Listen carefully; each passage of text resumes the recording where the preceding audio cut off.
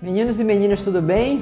Eu sou a Lu Lamper e hoje com mais uma peça fácil para você, vocês fazerem.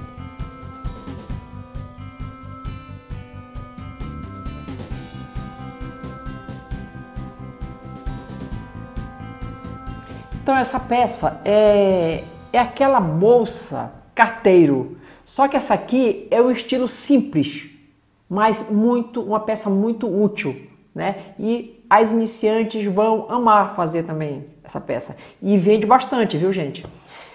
Olha aqui.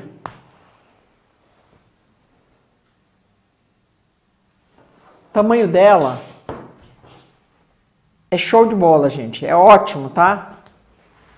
Então, mais uma peça e vamos ao passo a passo.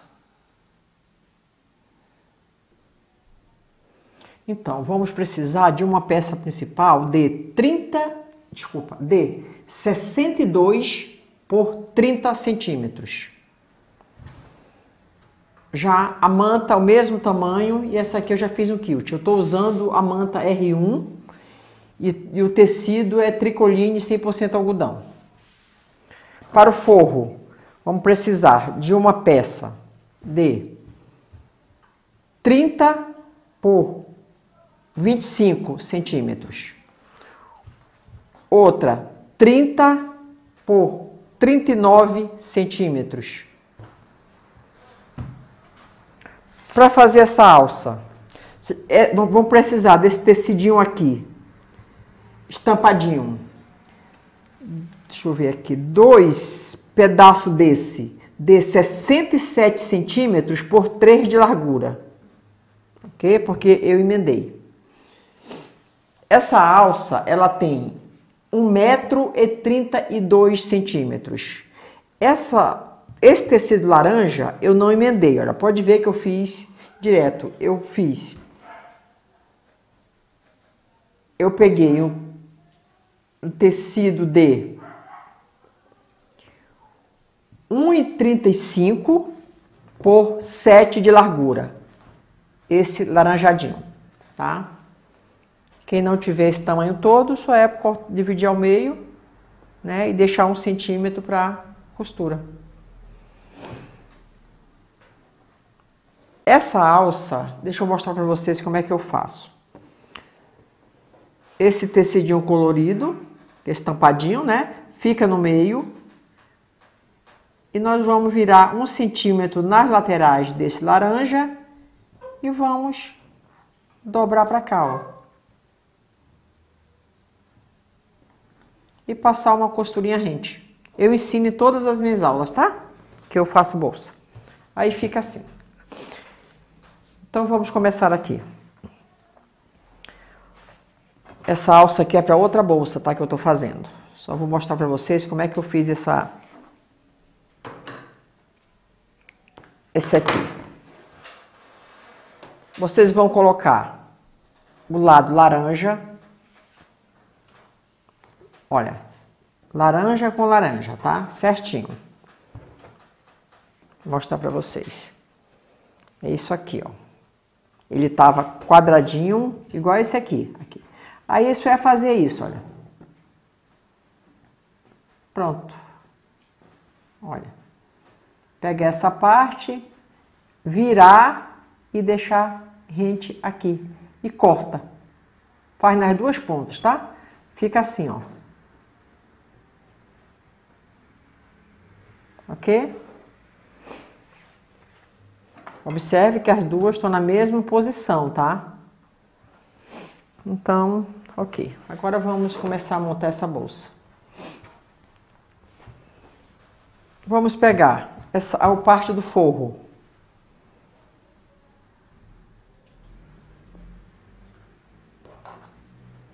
Deixa eu ver onde eu marquei aqui.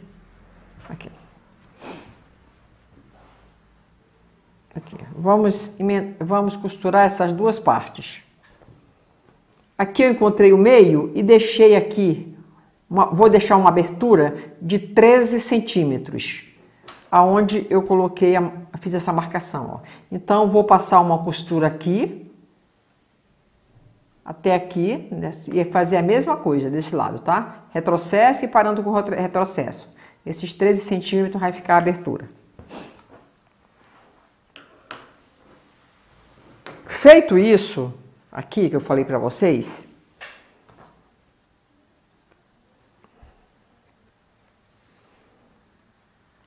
para adiantar o vídeo, tá, gente? Que essa bolsa é rápida mesmo e isso é importante.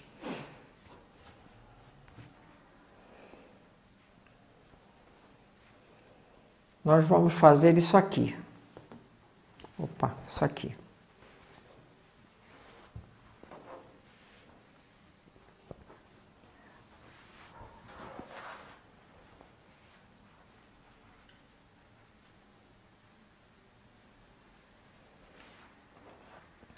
Observe uma coisa.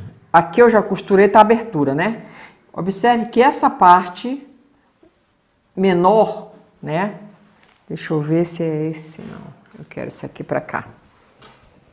É que eu tô vendo, gente, a posição das estampas ficar mais bonita essa bolsa. É, aqui, olha. Vamos passar o pezinho de máquina aqui também, tá?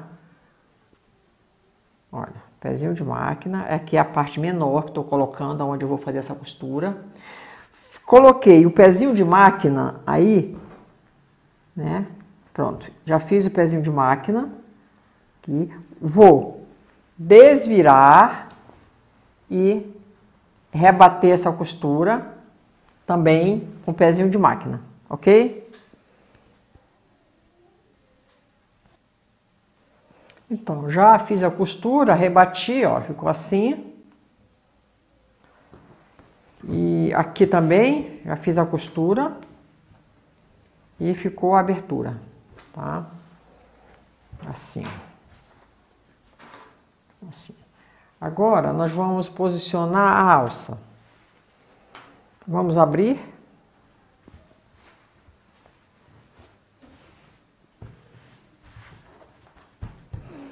E vamos pegar essa alça aqui. Deixa eu só ver aqui, gente, uma posição para ela. Assim, é. Aqui, ó. Aonde eu, eu fiz o pezinho de máquina aqui, nós vamos colocar essa parte, esse biquinho aqui, ó, dessa alça, exatamente aonde, aqui, ó. Aqui tem o pezinho de máquina que eu fiz. Aí eu coloco a alça e vou colocar um alfinete. Por que a alça tá assim? Que depois ela vai ficar desse jeito, né? Aí eu vou colocar o outro lado. Mesma posição.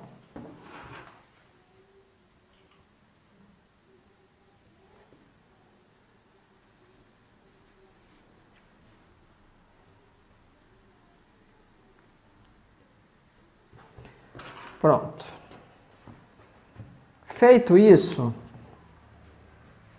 olha, nessa posição, né? Vamos fazer isso aqui, ó. Eu marquei dessa base para cá 16 centímetros. E já até marquei nas duas laterais. E é aqui que nós vamos posicionar essa parte.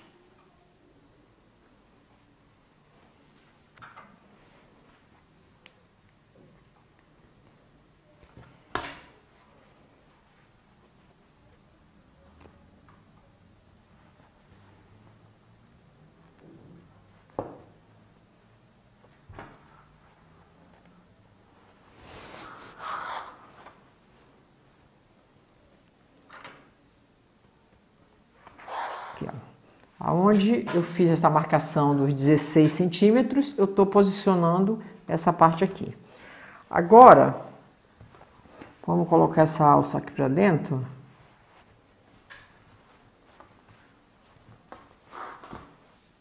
Eu vou fazer isso, olha, eu venho com essa outra parte do forro, né? E vou colocar aqui.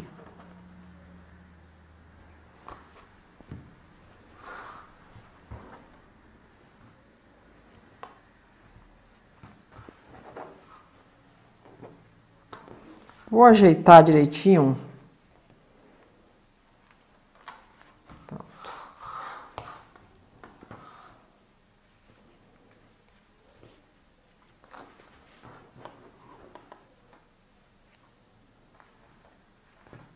Ficou assim.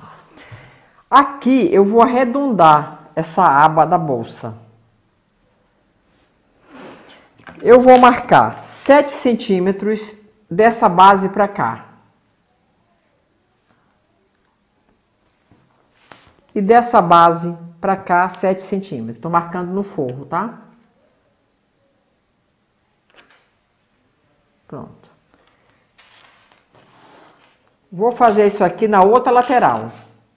Mesma coisa, 7 e 7 centímetros.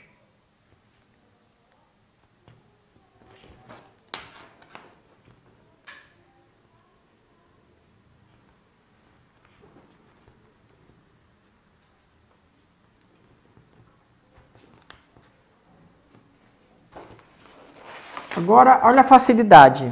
Eu vou arredondar com esse pratinho.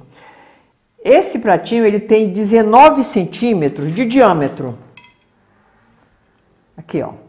Tem 19 centímetros de diâmetro. Então, se não tiver um pratinho de 19 centímetros, pega qualquer círculo, tá? Qualquer objeto que seja um círculo para fazer essa parte aqui. Vamos lá. Então, onde eu marquei 7 centímetros aqui e aqui, nós vamos posicionar esse pratinho e vamos marcar.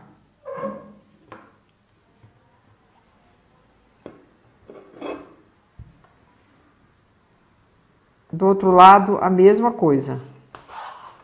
Vamos posicionar exatamente no risco. Pronto. Aí nós vamos cortar no risco. Cortar aqui.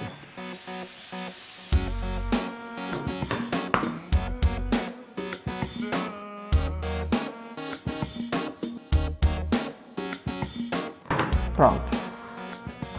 Já arredondei. Agora eu vou passar uma costura, pezinho de máquina. Até aqui. Tá? Então, já fiz a costura, ó, como eu falei, pezinho de máquina, dei uns piques aqui e já até fiz um zigue-zague para segurar mais a, a, não desfiar tanto. Olha aqui, essa abertura. Vamos colocar a mão até aqui, ó, e vamos desvirar.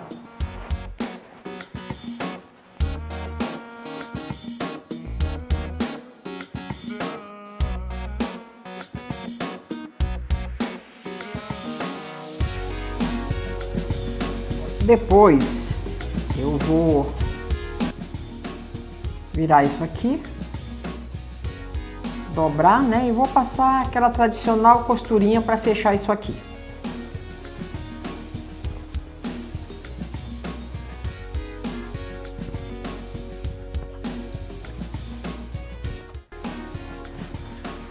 Vou arrumar bem os cantinhos.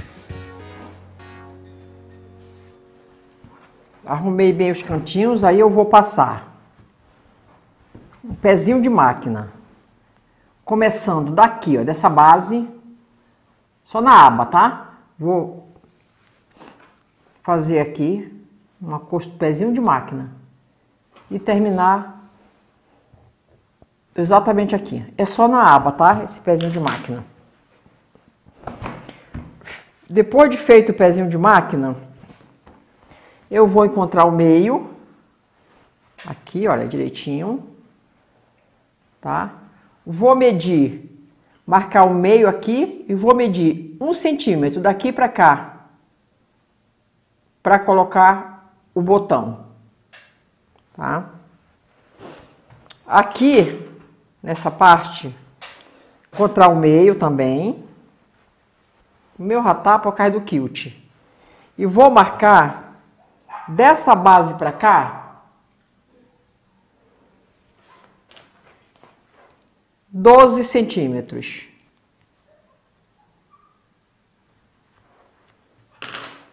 E vou colocar o botão. Ok? Já coloquei o botão. Gente, quem não quiser colocar o botão, coloca um, o velcro fica perfeito também, tá? Olha, ficou assim.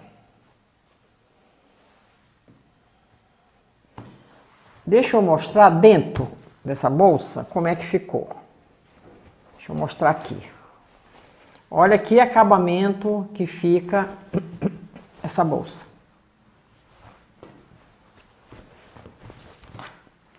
Aqui é aquela abertura, né? Que eu ajeitei e fechei. Olha, detalhe, só vai pegar o tecido do forro, não vão colocar junto com o tecido da, da bolsa, tá? Da, do tecido principal. Olha, o forro fica preso aqui nas laterais. Tá? Então não tem a menor possibilidade de vocês colocarem algo dentro e, e o forro vir junto, né? Que é horrível quando acontece isso. Deixa eu mostrar aqui. Olha, aqui ficou o botão, tá? Aí. Né? Então, tá, vocês estão vendo que fica a bolsa, fica perfeita e é muito rápida de fazer, gente. Pode fazer e vender. Deixa eu ajeitar aqui. Pronto.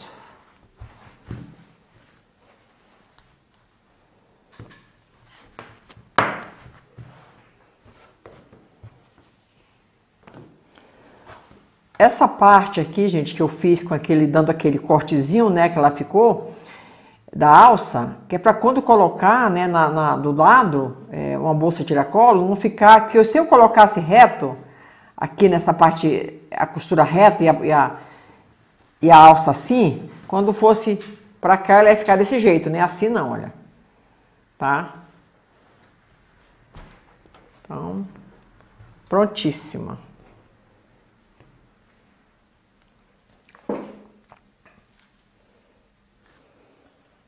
Então, mais, uma peça pronta, né?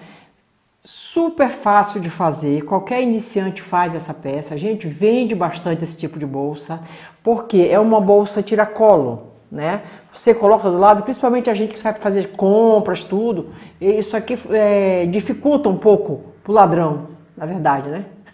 Porque ser assaltado aqui, isso aí tá normal hoje, quer dizer, comum, normal não é, tá comum, né? Então, Espero que vocês gostem, né? Dessa peça, porque realmente é bem rápido de fazer, né? E fica muito bonita, tá? Então, agradeço a todos vocês pelo, pelas curtidas no meu vídeo, por estarem, por estarem compartilhando, deixando seus comentários, me seguindo no Instagram, é, me seguindo na minha página Lulamper no Facebook.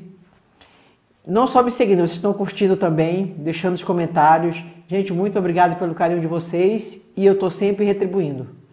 Ah, lembrando que quem tiver interesse nos moldes, é, aqui na tela e também logo abaixo na descrição do vídeo, cliquem lá em, em mostrar mais. Tá o link do grupo Lulamper Moldes. Para vocês terem direito aos moldes, vocês têm que se inscrever na, no meu canal tá? Quando se inscrever, não esqueçam de ativar o sininho, porque toda peça, quando eu publicar, vocês vão ser avisados, tá bom? Então, um grande beijo para vocês e até o próximo vídeo.